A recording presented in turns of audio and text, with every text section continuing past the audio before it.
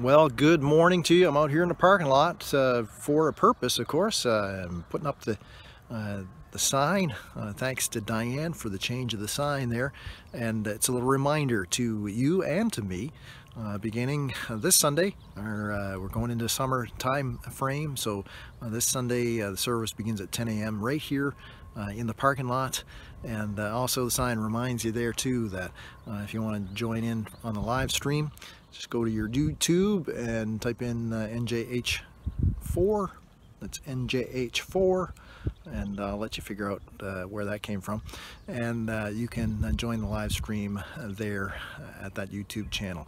I also want to uh, take a quick look at the other side of the sign too. We've been keeping this uh, message up for the last little while uh, it's a reminder uh, to us and to our neighborhood, let's uh, be praying. Uh, we sing it right in our anthem and uh, it is a prayer. Uh, God, keep our land. so let's keep praying for Canada. the Lord is the one who blesses us and watches us every day and so we can be asking Him to see us through. I hope you can see my sign right there. it's the reminder when you come for the drive-in uh, tune into 95.9 and uh, you'll be able to hear uh, the service on your FM radio. That's 95.9. Hope to see you uh, tomorrow. And now for a, a story. Uh, this one uh, reminded me of you, Grant. If you're watching out there in GP, we're praying for you back here in the East. wishing you well. it's about about some sled dogs. Was written by Chuck Swindoll.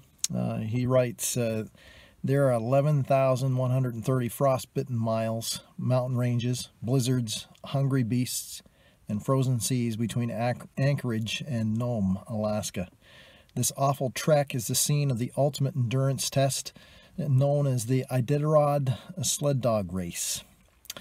It's where 12 Huskies pull a sled and its driver through the most grueling, inhumane conditions one can fathom. The most frequent champion, in recent years at least, is in a woman named Susan Butcher. Uh, her tough-minded fixation on winning has given a new meaning to the word discipline. The secret she'll tell you is her own mindset and her the training of those dogs, which gives uh, new meaning, I guess, to the word serious as well. Her dog, her 150 dog kennel is a thing to behold. Uh, shortly after each pup is born, uh, while it's still blind, she holds it in her hands and breathes her breath into its nose. That way, she claims, each one will associate her smell with comfort and encouragement. The rapport begins with uh, that breathing into the nose routine. Uh, she also personally feeds, trains, and on a rotation sleeps with each dog. Uh, she personally nurses them to health when they are injured. Uh, she is infinitely patient with them. She talks to them. She believes in them. She even sings to them.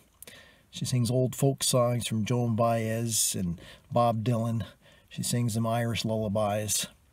What is her objective in all of this? To bond. She wants to build a bond with each one of the dogs. You know, that bonding has really paid off for her, and they've saved her life on the trail more than once. Way back in 1979, her sled dog team uh, went to the 20,000 foot summit of Mount McKinley, and it took four days. One reporter wrote one time, What a woman! A stiff spine and a stubborn mindset. Uh, that's the stuff that's needed to endure all those uh, moose attacks out there on the trails and, and the severe weather. One time a, a blizzard was uh, so severe that for five hours she, shouldn't, she couldn't see the lead dog. And uh, when they suddenly plunged into icy water, it was the dogs, uh, Granite and Maddie, that pulled her out. You know, the Christian life isn't an 11 day race. It's a, a, marathon, I suppose you could say, every day. And uh, it's a lifetime journey. It's full of uh, more dangers and pitfalls than a hundred Iditarod races. So it's uh, it'd be foolish of us to think that we can enter into it uh, half-heartedly or that we can sustain the race easily. Instead, we need to uh, look to our Lord for His strength to run this race. To survive it calls for uh, help from above by from our Lord Jesus Christ and uh, a sense of toughness within that uh, we have through the presence of the Holy Spirit.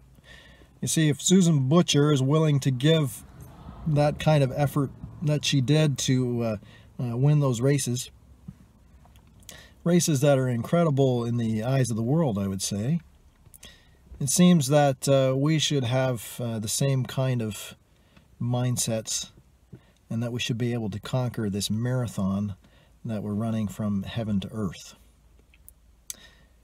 Uh, so remember these words the words of the scripture that says, Let us run with endurance the race that is marked out for us.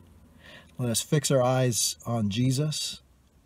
He is the author and the perfecter of our faith. Keep your eyes on Jesus today. Hope you're having a great day. God bless you.